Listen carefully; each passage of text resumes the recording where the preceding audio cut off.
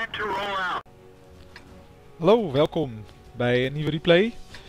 Ik speel hier met eh, de 1390, de tier 8 Franse light tank. En zoals je ziet ben ik ge- in platoon met eh, twee klemmaten, Druid Vader en Robertje. En we zitten allemaal in de 1390. En dit is een leuke match. Dit is eh Prokhorovka. eh, waar je natuurlijk best wel veel eh, eh, goede plekken kan eh, vinden om te scouten. En we hebben hier een eh, discussie van, nou wie heeft de beste crew? Robertje zegt ik heb 600 battles. Oké Robertje, dan ga jij op E1 staan. Passive scouten, niet schieten, alles spotten wat op de 1-2 lijn komt. Eh, ik zal eh, alles afleiden wat er eh, op de 3-4 lijn komt, hè, zodat Robertje niet gespot wordt. En eh Druid gaat richting de hill. Nou, we gaan zien hoe dat uitpakt. Ik spot hier meteen twee van hun tanks, drie zelfs, alle drie de scouts gespot. En nu is het gewoon zaak om te blijven rijden, want er is twee artillerie in de game. Dus zorg dat je zo min mogelijk eh, de artillerie de kans geeft om op je te schieten. Je ziet wat er heel vaak gebeurt op deze map. Hè. Er zitten aardig wat TD's eh, eh, bij ons in, de, in het team en die gaan allemaal op de twee-lijn staan.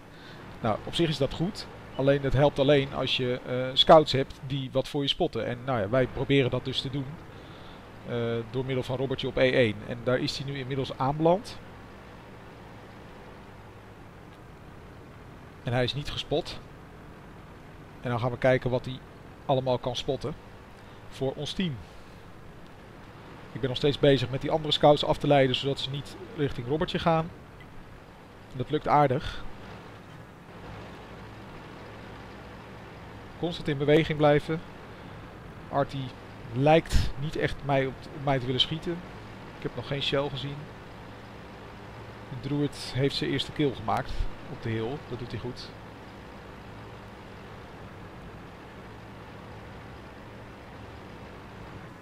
Kijk eens, daar is de eerste spot. Jachtpanzer E100. Dat is natuurlijk een groot target om te spotten.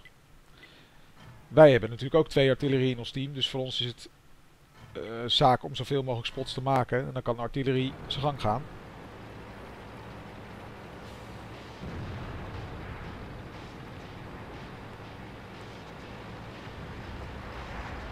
Je ziet vier TD's bij ons op de twee-lijn.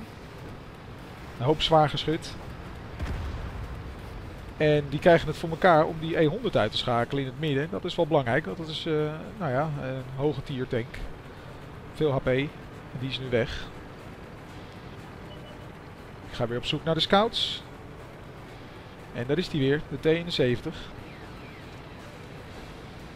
En hij krijgt een mooie hit van een teamgenoot. Dat is lekker.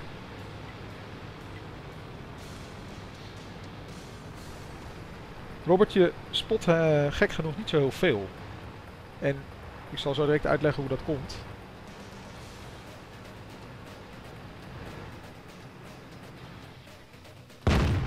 Hier pak ik een snapshot op de T71 en Robertje maakt een grote fout. Hij doet een schot. Hij wordt gespot. En daar begint het al. Hij wordt meteen weggefocust. En die jachtpanzer E100 maakt hem af. Wat je ook doet op E1, nooit schieten. Dat is de les. En Robertje wist het ook. Maar hij, ja, hij is geen eh, passive scout. En eh, hij had geen zin meer om te wachten. Hij probeerde zijn geluk en het is helaas mislukt. Maar nu zijn we dus wel onze scout kwijt op de 1 lijn.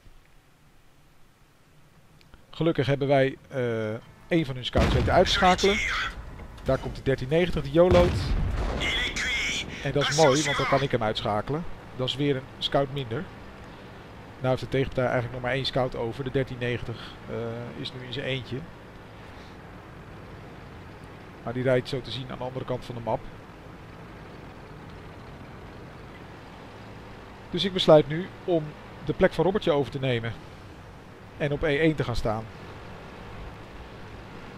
En ik had net gezegd eh, nou, dat er zo weinig gespot werd door Robertje. En ik vraag aan hem, heb je eigenlijk wel Binox erop zitten? En hij zegt, nee, ik speel met Coated Optics. En zoals je ziet heb ik wel Binox op mijn tank. En dat gaat een eh, hoop verschil maken. Want Binox is toch wel een grote, eh, eh, ja, grote hulp als je stilstaat om te scouten. Kijk, daar is meteen die jachtpanzer E100 weer. Nou, daar had ik geen Binox voor nodig. Maar, belangrijker, ik spot die 183. En die had Robertje dus niet gespot. Omdat hij slechts coated optics had. En met Binox heb ik gewoon 25% extra view range. En spot die 183. Nou, en zit nu echt op Teamspeak te hopen en te, te brullen dat die Artie op die 183 gaat schieten. Ik tag hem een paar keer. Want het is, zou zonde zijn om er geen gebruik van te maken. Je wil natuurlijk als passive scout wel dat er op je spot geschoten worden. En hij is weg. Een hele dikke artificial en onze vocht die hem afmaakt. Dank u wel. 2000 spotting damage. En ik maak er ook nog even een comment over. Dat is altijd fijn natuurlijk als je teamgenoten meehelpen. Inmiddels heb ik de jachtpanzer E100 hou nog steeds gespot. En daar is ook nog een jachttijger gespot. Ik weet niet zeker of, die, of ik die gespot heb. De jachtpanzer E100 doet het goed, want die staat redelijk heel down. Dus de tegenpartij, uh, of onze, onze TD's kunnen hem heel moeilijk raken. Ze kunnen hem alleen maar uh, op zijn upper uh, frontplate schieten. En ja, dat bounced eigenlijk altijd. En wat mijn teammaten nu goed doen is dat ze mee oprukken. Want het heeft geen zin meer om te blijven hangen op de BC-lijn. En staan ze nu naast me.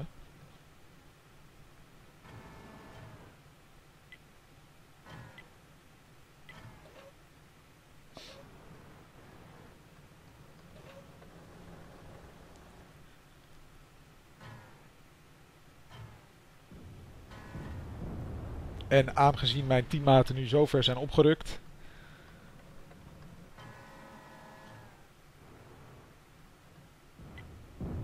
ga ik eens denken wat ik verder kan doen. Want ik ben nu eigenlijk niet zo heel erg nuttig meer. Je ziet dat de jachtpanzer 100 inderdaad goed in down staat. Waardoor ze niet in zijn onderplaat kunnen schieten. En hij eigenlijk alles bounced. Hij moet gewoon een artificial op zijn kop krijgen. Dat is de enige manier.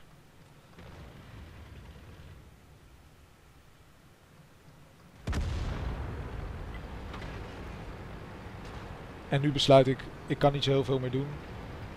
Ze weten waar die staat. En ik zeg nu tegen Robertje en Druidvader dat ik voor de arty ga. Want dat is natuurlijk ook belangrijk om uh, de arty van de tegenpartij uit te schakelen. Zodat hij niet meer onze 1-2-lijn kan bombarderen. Dus dat is nu mijn plan. Maar ik besluit iets anders te doen. Ik zie dat die T57 Heavy van ons het heel erg moeilijk heeft. Tegen een T110 E5 met nog bijna volledig uh, al zijn hitpoints. En ik denk nou, ik kan hem wel uh, eens gaan helpen. Ik ben snel genoeg. Ik heb nog niet uh, de, de top engine en ook nog niet de top tracks. Dus ik ben nog niet helemaal full ops. Dus ik had sneller kunnen zijn, maar helaas. Hier zullen we het mee moeten doen. En hier moet ik oppassen. Ik rem net op tijd. Anders vlieg je daar naar beneden en verlies je misschien wel de helft van je hitpoints. Vertraagt mijn actie helaas wel wat. T57 Heavy heeft inmiddels uh, in ieder geval één shell in de E5 gepompt. Dat is mooi. En daar is de tweede. Dus dat scheelt. Nou kan ik hem dus met mijn volledige clip kan ik die E5 killen.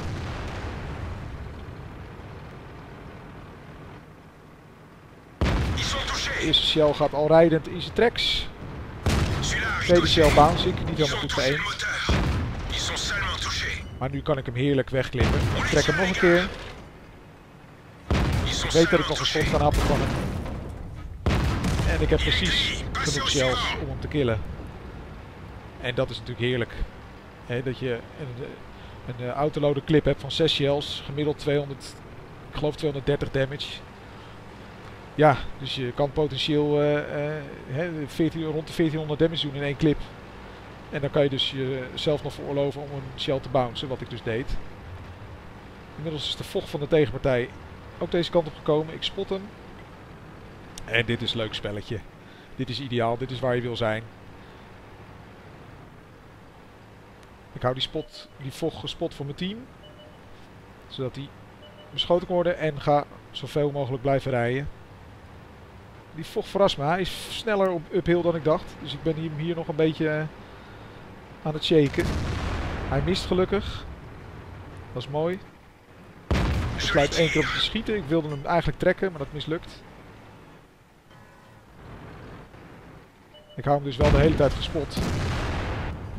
voor mijn team. En dat is erg belangrijk, want daar is de Artie Shell die hem afmaakt. Dus dat is nog weer heel veel extra spotting damage voor mij. En weer ben ik daar heel erg blij mee. Ja, en zo uh, hebben wij dit potje gewonnen. Laatste tank is een Artie, die staat helemaal in de hoek op K1. Nou, kwestie van er naartoe rijden en afmaken. En dat was het. Laten we gaan kijken naar de postgame stats. Deze match was een first class medal. Um, hoop assisting damage. Op de Jachtpanzer E100 had ik 397. De E100 in het begin ook nog 1200. Had ik eigenlijk niet eens zozeer door. Uh, T71 nog uh, wat assisting damage. Maar het paradepaardje is natuurlijk die 183 waar ik de volledige assisting damage op had. 2000. Um, nou, voor de rest uh, heb ik zelf 5 tanks gespot in het begin. En dat resulteert in een hele mooie XP van 1190. Uh, base experience. Dat is natuurlijk erg lekker. Ik heb zelf ook nog twee kills gemaakt. En 1867 damage. Dat is uh, niet verkeerd. En ik heb ook nog. Nou, ik heb een goede, een goede credits gemaakt. 52.000 credits verdiend. Ik heb geen premium gebruikt. Geen premium shells gebruikt. ik heb 11 shots fired. Waarvan 10 uh, raak gingen en 9 ook penetrations. Dat is ook wel eens anders op de 1390. En in totaal dus ja, die massive spotting damage, assisting damage van 5,8k. Ja, dat is natuurlijk gewoon erg lekker. Nou, bedankt voor het kijken. Hopelijk heb je wat opgestoken van uh, hoe te passive scouten en hoe de 1390 te gebruiken. Ik ben zelf niet zo'n hele goede scout. Uh, dus het is niet zo dat ik elke match dit soort potjes heb. Maar uh, nou, af en toe heb je dan even lekker dit soort potjes. En ja, dan is de 1390 wel erg rewarding.